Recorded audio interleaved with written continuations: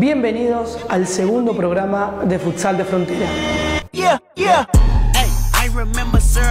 Te vamos a estar contando y mostrando cómo se están preparando todos los equipos para el inicio del torneo A y B de la Comisión Libreña de Fútbol del Salón. En esta ocasión nos trasladamos hasta el Polideportivo de los barrios de Pico, en donde se disputó un partido amistoso entre Nueva Ciudad y Sol Solidario. Ambos equipos de la División A se están preparando con todo para sus respectivos campeonatos, tanto locales como provinciales y nacionales. Esto fue lo que nos dijeron los protagonistas. Eh, venimos de, un torneo preparatorio de Gualeguaychú, un Super 8, en el cual tuvimos un buen desempeño. Lamentablemente tuvimos un pequeño, percance con el, colectivo y llegamos unas horas atrasados. Bueno, eso nos, disminuyó un poco el resto físico, pero bien, bien. Eh, estamos, creo que seguimos manteniendo el mismo nivel.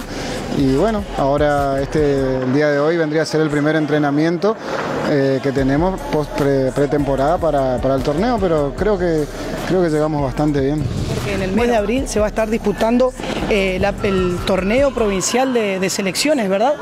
Quiero aprovechar la oportunidad para avisarle a toda la gente, a todo el público que, que nos venga a apoyar.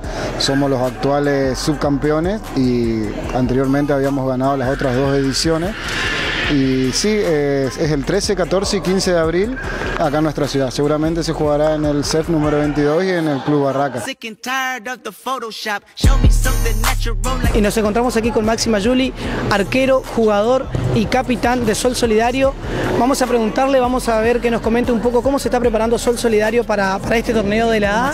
Eh, no, bien, tuvimos un mínimo recambio, se nos fueron dos o tres jugadores, pero el, grupo sigue siendo el mismo siempre, digamos, un grupo de amigos que intentamos jugar fútbol, pero generalmente un grupo de amigos, la misma base sigue siempre. Se fueron dos o tres jugadores, pero trajimos uno o dos también, pero la base sigue.